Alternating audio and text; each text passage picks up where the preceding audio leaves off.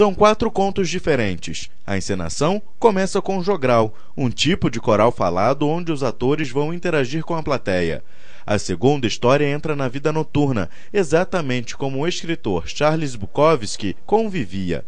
A trama gira em torno de um homem que se embebeda durante a noite e, ao amanhecer, não sabe se cometeu algum delito. O terceiro conto mostra a vida de um editor de livros que tem que receber escritores que insistem em publicar todas as edições.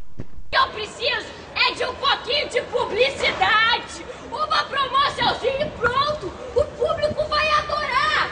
A única coisa que falta para eles é ver o que eu escrevo. E o último apresenta uma mulher completamente diferente. Ela é considerada a mais bela da cidade, mas odeia isso. A jovem pensa que os feios têm sorte porque as pessoas se interessam de verdade por eles. São 50 minutos de muita atração.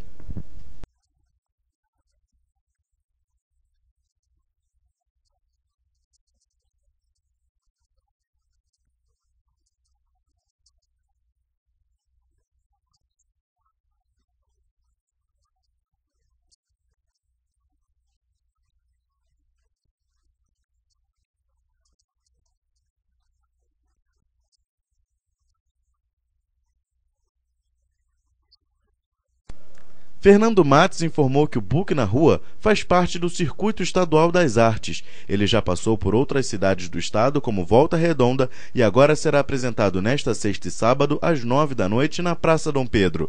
O espetáculo é voltado para o público adulto.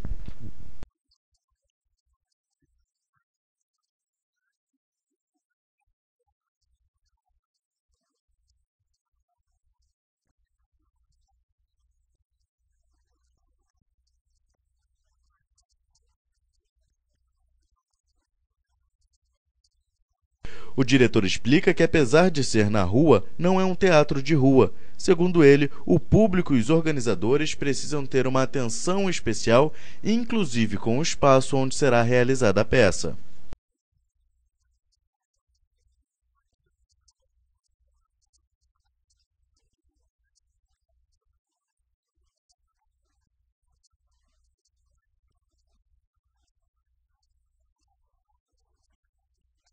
E lembrando, Book na Rua é nesta sexta e sábado, às nove da noite, na Praça Dom Pedro, só para adultos.